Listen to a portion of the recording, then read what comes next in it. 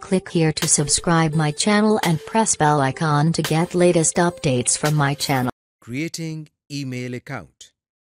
جب بھی ہم کسی پروگرام کو استعمال کرنا چاہتے ہیں تو اس کے لیے ضروری ہے کہ ہمارا اس میں اکاؤنٹ ہو یعنی ہمارے پاس ایک نام اور خفیہ کوڈ ہونا چاہیے جس کی مدد سے ہم ای میل میسیجز کو سینڈ ریسیو اور ریڈ وغیرہ کر سکیں آئیے اس سیکشن میں ہم بہت استعمال ہونے والی ویب سائٹ یاہو میں ای میل اکاؤنٹ بنانا سیکھتے ہیں۔ سب سے پہلے ہم براؤزر کے ایڈریس بار میں mail dot Yahoo dot com کو ٹائپ کرتے ہیں۔ چونکہ ہم پہلی دفعہ اپنا ای میل بنا رہے ہیں اس لیے اب ہمیں جو اسکرین نظر آ رہی ہے اس میں کریٹ اکاؤنٹ پر کلک کرتے ہیں۔ ہمارے سامنے یہ فارم اوپن ہو گیا ہے۔ یہاں پہلے باکس میں جہاں فرسٹ نیم لکھا ہوا ہے ہم نے اپنے نام کا پہلا حصہ ٹائپ کرنا ہے جیسے ہم یہاں یہ نام ٹائپ کر رہے ہیں۔ اس کے بعد دوسرے باکس میں لاسٹ نیم لکھا ہوا ہے جس کا مطلب ہے ہمیں اپنے نام کا دوسرا حصہ لکھنا ہے ہم یہاں یہ نام ٹائپ کر دیتے ہیں۔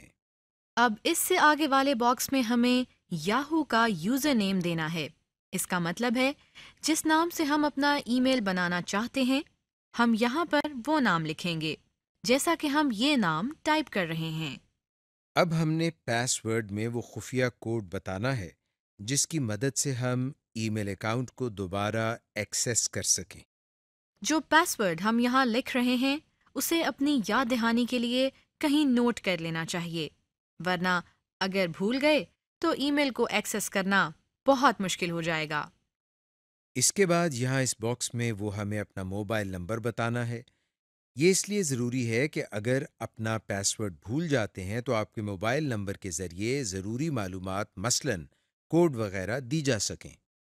یہاں سے اس ایرو پر ہم کلک کر کے اپنے ملک یعنی پاکستان کو سلیکٹ کرتے ہیں۔ اس طرح کنٹری کوڈ لکھا ہوا آ گیا ہے۔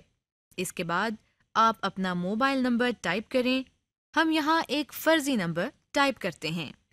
اگلی معلومات تاریخ پیدائش کی ہیں۔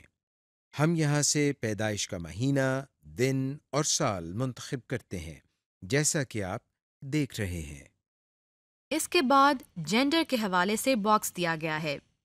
یہاں سے ہم فی الحال میل کو چیک کرتے ہیں۔ اس کے علاوہ ہم اس میں مزید انفارمیشن بھی دے سکتے ہیں۔ مثلاً آپشنل ریکوری نمبر اور ریلیشن شپ وغیرہ۔ آخر میں ہم کریٹ اکاؤنٹ پر کلک کرتے ہیں جس کا مطلب ہے کہ ہماری یہ تمام انفارمیشن ڈیٹا بیس میں سٹور ہو جائیں۔